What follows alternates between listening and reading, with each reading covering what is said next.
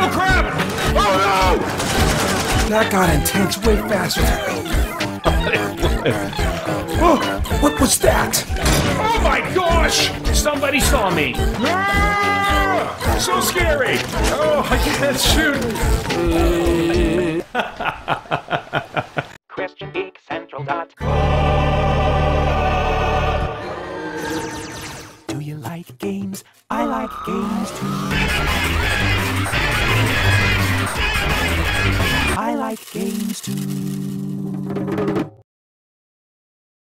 This one, like, it was a combination of difficulty and lack of patience on my part that caused me to give up on it.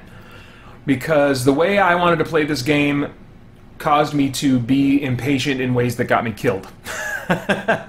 it's a kind of a sneaking around kind of game, and I'd have to really think about okay, these guys are moving here and they're moving there, and I have to keep track of kind of when is my time to move I'm not sure. Just go. I'm dead. But I like, I really love the world. I love the concepts. There's so much aesthetically that I love about this. It's just the, the gameplay that was, the, the way I wanted to play it was too difficult for me. After Dishonored, there's just one more game before Dark Souls. Which I specifically, one of the reasons I got Dark Souls, because I was like, man, if I, if it turns out that I blow through these other games, I do not want to spend like five hours playing Super Mario Brothers. I don't remember how to play this. How do I heal? Ooh, he's looking at some kind of Satan mirror. I think I want that power, whatever it is. Freaky German whisper. Oh my gosh. This is dumb. You can't see me, you can't see me, no one can see me, I'm real sneaky. No one can see me, I'm real. Oh! Okay! It's on! Still have no idea where I'm supposed to go. Okay, here we go. Murder, murder, murder. Okay, is anyone else? Okay, hi. Oh, oh, ah, ah. Hey, who are you? Oh, hey, I was aiming for him, but Mr. Bunting. With, oh, this. Okay, so she's. This is like a brothel. It's a brothel. That explains the uh, the ladies without clothing. Hey, woohoo! All right, my sister Corinne's here. Are you live streaming? I am. I don't know if I knew ex- that. Oh, I thought I That's okay. explained that. I knew you were recording it. I didn't know it was Oh, live. okay. Yeah, it's live. It's alright. So you have to be more guarded in what you say. I was just now. gonna say, that means I can't ask you personal questions. Oh, sorry. Yeah, I wonder if I have an ex- any kind of an extender. That's better. It just takes the weight off of it. Oh, so that- okay. All right. I just don't want to jerk my chair too far, or it'll Are yank you worried on about your cord or me? uh, my cord and the TV. You're gonna be just fine. you know what? You need to stop talking. You dead? You need. Yeah. Okay. Making me nervous. You don't make the psycho nervous, or he's gonna start killing. Hey. Hey. Shh. Quiet. There we go. So why are you killing all the ladies too? Just, uh, I don't know. I'm just afraid they'll say something about me. Just to be safe, I'm killing everybody. oh, yeah, yeah. You're shouting. I'm right next to you. Well, I got the headphones on. Why wasn't he shooting at you? I can't hear you. Be quiet, okay? Are you gonna talk? Alright, be cool. Just be cool. No! Brought that on yourself. Uh,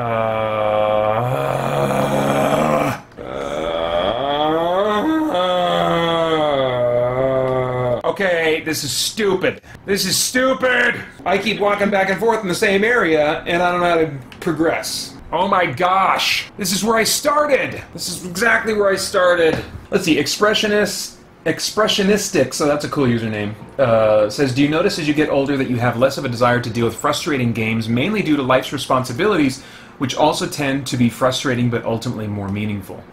Um, yeah, I mean, I think that's a pretty good way of stating it. It's uh, my free time is just more precious than it was when I was. my uh, my free time is just uh, more limited than than uh, it was before I was married, before I had kids, and yet at the same time, I video games make up um, a larger, a much larger percentage of how I spend my free time than they used to. It used to be much more comics oriented and uh, you know other things. Question: Are you gonna put comics up on the wall at your new house? Die, die, die, die! Please, die, die! Do you just press a lot of buttons, or I just kind of, I'm not very good at these games, so I just hammer buttons over and over again and hope that I win that way. Hey, kiddo, are you here to say goodnight? How am I gonna Ooh, get tricky. I'll have to lift you over. Oh my gosh. Mm, sleep good, okay? Love you. Wait, Oh my gosh, you're recording. Yeah. Wait, where is it? Camera's right there. Oh. On top of that. Mm, love you. Sleep good. Oh, watch your feet. Watch your feet. There we go. Oh, sorry. Sorry. Do you have like a certain point in the game where you say this isn't for me? Uh, yeah, I think I've reached it on this one. the reality is, the way that I tend to want to play games is, yeah, I like to sneak a little bit in these kinds of games, but if I don't want it to be like uh, super difficult, if I'm if I'm spotted, I don't want to feel like I'm really forced to sneak a lot, you know. And this game is really just a lot about sneaking, and more than I'd like, more than I'd like it to be. I mean, it was cool to get past that hard part, and I do feel like, oh, I can make my way through this game now. So I guess it's not. doesn't seem like you were just talking about how you have very limited Yeah, extra time. Yeah, and you're it right. worth it if you don't really like the game. yeah. So I mean, I can't, I can't see myself finishing this game. You should rate all of your games so that you only go to the like. This is a nine. So I can, like, you mean for me personally, Yeah. so that I you can. only play that game if you've run out of one, two, three, four, five, six, seven, eight. You know, 15 years ago I might have done that, but but there are there are so many more games that are being released now, whether from large studios or from independent studios, that I have way more games right now than I will I think I'll ever play. There's just so many games like so that sounds unhealthy. yeah, yeah, I, it's it's definitely something I got to keep an eye on. Um, and but the thing you is, sell them if you're not going to play them? uh, the, if I have physical copies, yeah. And a lot of the digital, a lot of the digital ones I buy when they're really cheap, like maybe two bucks. You know, so it's not like I have this huge library of of video games that I've spent you know full price I on like each to buy digital video games for bike systems. Oh yeah, it's eh, becoming increasingly popular. It's going to That makes eventually, sense. yeah, it's going to go the way of iTunes. You know, Yeah. I'm saving. Is I'm that done. how you are with books? How do you do you read a certain number of pages in a book and then you you're either invested or you're not? Yeah, I'm the same way with books, you know. Yeah. Um, and especially recently, like in the last six months, there has not been any, even for my favorite authors, any fiction that's interested me. Really? And I, I've discovered that I'm in a nonfiction phase, either for just a, a season or maybe like for life going forward for who knows how many years. I mean, I'm totally in a nonfiction mode right now. Did Holly tell you the bad news about the series that I'm liking that you said I might try that? Oh no, did it get canceled? No, but and this is only rumor. I just heard that like her late the last book or two are more new adult with you know I don't know if have you heard of new adult. You mean no new adult? That's a thing. yeah, So like it's after young adult. Mhm, but Oh, not quite adult. boy. And really, all it is is soft porn. Basically. So Basically. yeah, okay. So it's like like the CW. It's like it's about characters that are in their twenties and they can have sex now. Yeah. So that's all the relationships are super shallow and it's all about sexual attraction. Oh, So I don't gross, know. man. I'm gonna see. I'll check them out from the library and see. Because the person who told me I don't really know her very well. Okay. So I, I'll see. Ugh. But I'm gonna be bummed Lame. if that's the case. An hour-long cutscene that gives more questions than answers. Yeah, I can see that being frustrating. That's, that's why I gave up on Lost, the TV series Lost. Everybody kept saying, "Oh, Peter, you got to come back to it. It's good. It's good." I said, "I'm gonna wait till the show is done. And when the show is done, I want you to look me in the eye and tell me you know exactly what the smoke monster is. Like they definitively said what the smoke monster is." And that was just one thing. There's so many questions they kept raising. It just became clear to me that these guys do not know where they're going with this story. I don't think of like a a story with a mystery as being really good writing unless the mystery when it's, when when it's explained makes sense of everything. Then you can go, "Oh," and you can see the brilliance and all the planning and but if the mystery ends and there's still a ton of questions I suppose for some people maybe that's postmodern and profound, but uh, it, maybe it's postmodern. I don't find it profound. I got a donut back here with my name on it. I'm pretty excited about it. I'm gonna call it my Dark Souls donut. My family tells me that I make a lot of noise when I eat. I think they're probably right. I like my chewing and stuff is all very noisy. I'd probably be a really gross person for you to sit with while you hear it all sloshing around in there. Mmm. Okay, so Tenley says, I have a problem with the idea of certainty. We humans are limited in our understanding. All things are based on assumptions. This idea makes me unwilling to share the gospel because of uncertainty. Um, Dan, I would highly recommend, and this is just kind of on my brain because I've been listening to him as I uh, exercise lately, but a guy by the name of Dr. William Lane Craig.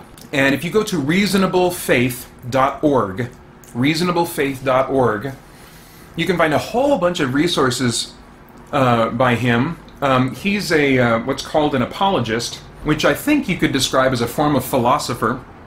And I don't mean philosopher in the kind of the mainstream sense of philosophy, where you know these guys sit and talk about these really profound sounding intellectual ideas, but they just kind of stay up here in the world of the ethereal and the theoretical, and they don't actually come down to the real, the logical, the pragmatic, the day to day, you know.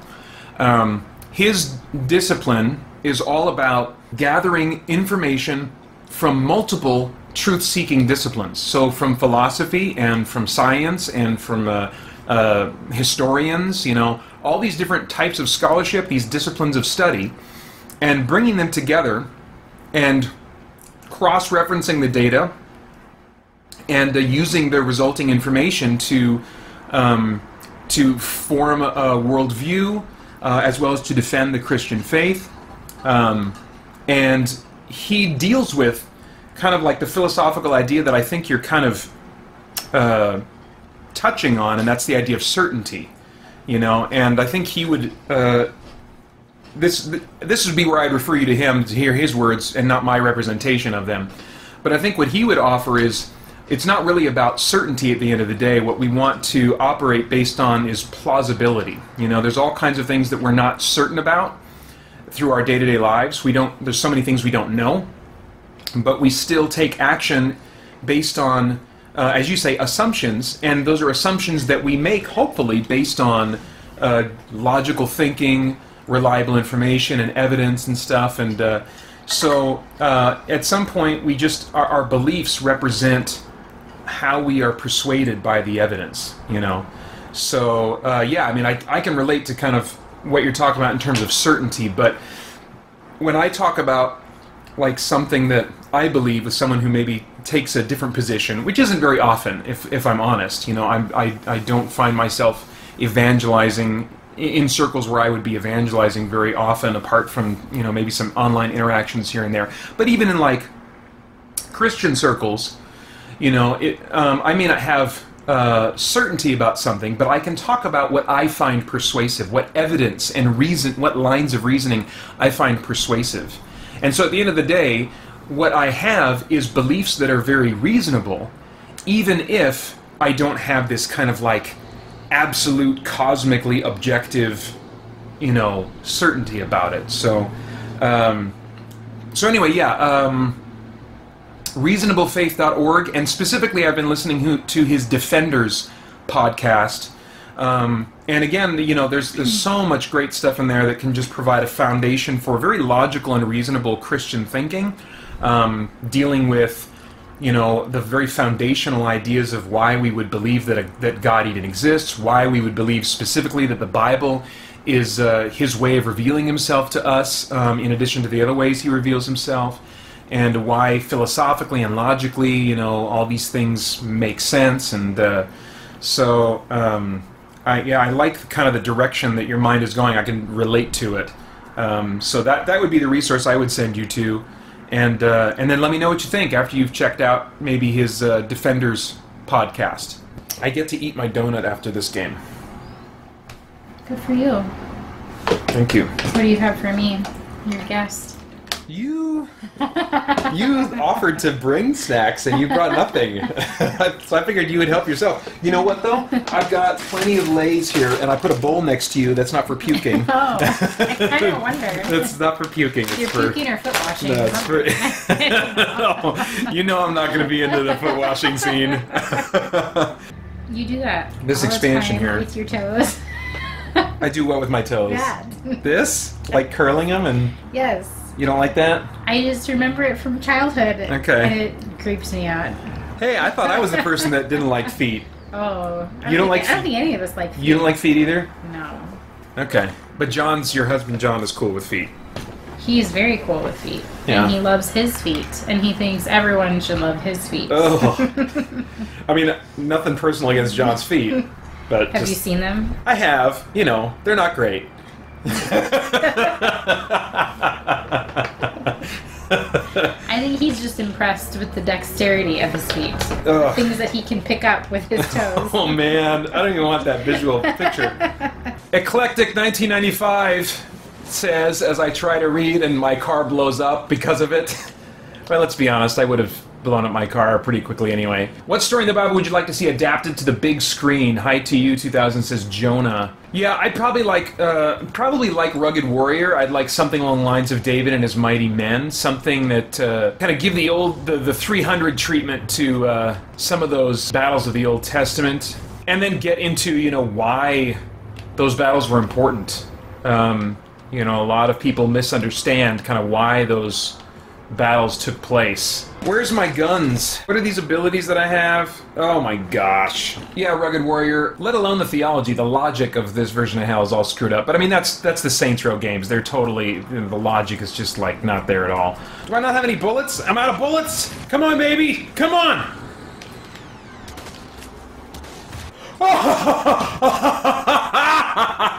You have to you have to collect rising souls after disabling the shields. I have to collect them. Oh, I missed that one. Missed that one too. Missing them all. I lose. Ran out of time. This sucks. Sucks big time. Oh crap! Oh no! That got intense way faster oh, what was that? Oh my gosh! Somebody saw me. Ah! So scary. Oh, I can't shoot.